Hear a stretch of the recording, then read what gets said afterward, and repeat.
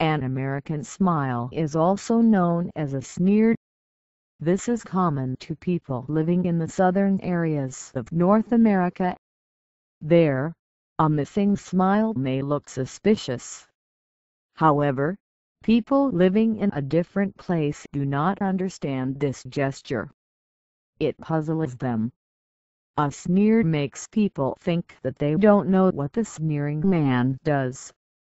This is a fine ruse to conceal what is really on your mind.